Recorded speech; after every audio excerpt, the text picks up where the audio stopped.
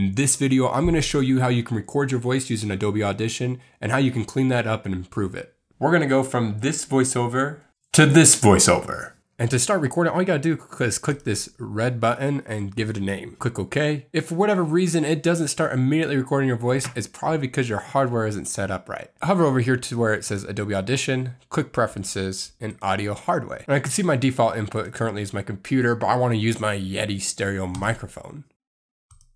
I can also set my output. Once I got that, I click OK. Now if we come back, click Record, this is a voiceover, and this is a voiceover. You can pause it like that by clicking this little pause button. Unpause it just to keep going. I'm gonna pause it. I'm gonna click the stop button. I'm gonna click where I need to listen. I can listen to it. This is a voiceover and this is a voiceover. That sounds pretty good uh, in and of itself. The first thing I like to do after every time I record is I like to clean up any background noise. There's not much happening here. Like you can see how tiny this is. But I go to a spot where I'm not talking, capture that by clicking Shift P. And it says this is going to be captured as a noise print. I say okay. And then I'm going to do Command or Control A, and that's going to just select all the audio. And then I'm going to do Command or Control Shift P all at the same time. It's going to bring up noise reduction effect. And I can see this is the noise reduction I'm seeing. It's right here. It's just this little fuzzy stuff. It's the background noise. Click apply. And what it does is when I capture the noise print, it said, hey, this isn't my voice. This is just background noise. Remove it. And then I applied the effect that says it's removed. So now if we listen to this part, it's complete silence. So it'll be complete silence now when I'm not talking. Next thing we want to do is make this audio sound even better. And before I go and just apply a bunch of effects on there, I want to save this process, basically write a script or create a macro so I never have to do it again. Make sure all of your audio is selected, then click start recording favorite, click OK.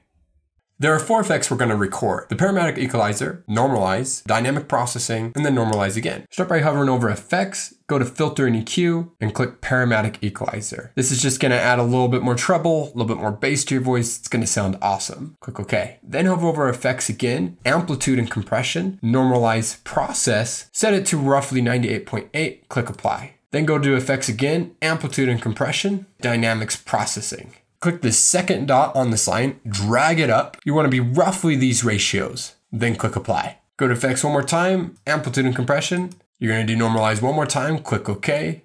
Then once you're done, click on favorites, stop recording favorite, give it a name like super voice. Click OK. Then go to a section that you haven't done, such as here.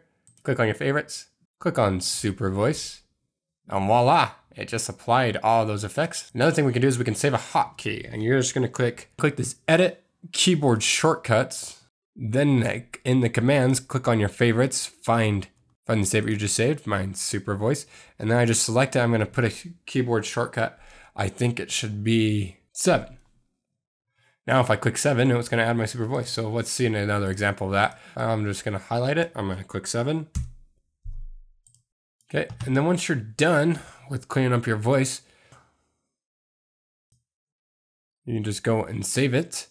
Pick a file location that you want to save it at. You can choose what format you want to export it. Wave is probably one of the best ones. The rest of these settings look fine to me. I'm just going to say OK, and there you have it.